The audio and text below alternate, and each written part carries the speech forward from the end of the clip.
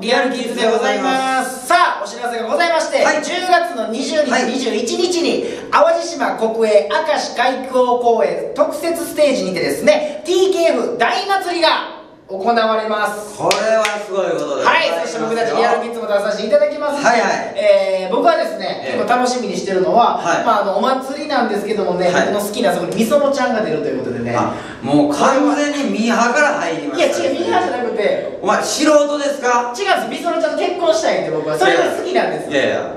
既婚者やんか。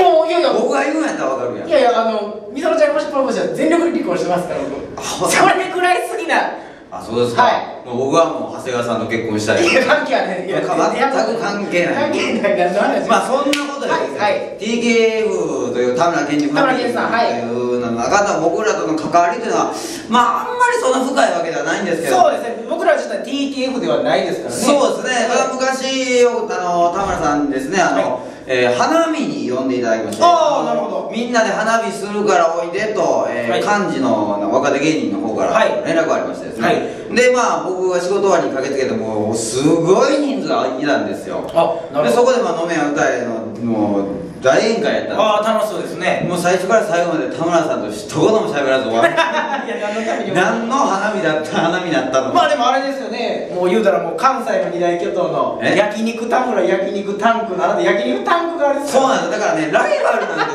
すよ実は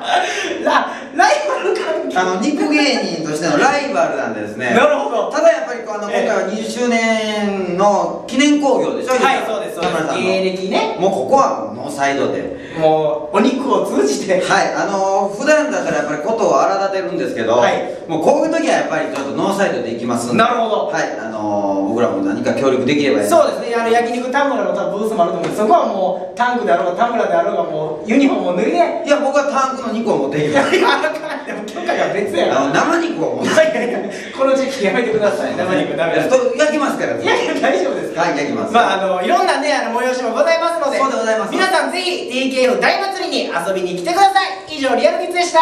ありがとうございました